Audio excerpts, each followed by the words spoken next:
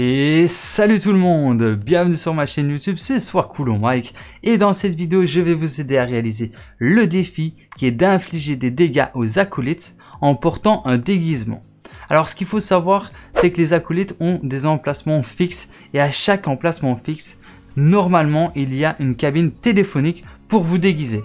Alors le défi est très simple, vous rentrez dans cette cabine téléphonique, ensuite vous ressortez et vous serez déguisé. À ce moment-là, vous allez infliger des dégâts aux acolytes. Donc si vous avez une grenade, vous lui lancez une grenade parce que vous devez faire 100 de dégâts en étant déguisé. Et si vous avez une grenade, ça fera directement 100 et vous validerez directement le défi. Sinon, vous vous rapprochez tout près de sa tête et vous lui mettez quelques balles. Alors faites attention parce que si vous êtes trop proche de lui et que vous le touchez ou vous le frôlez, votre camouflage, donc votre déguisement, s'enlève.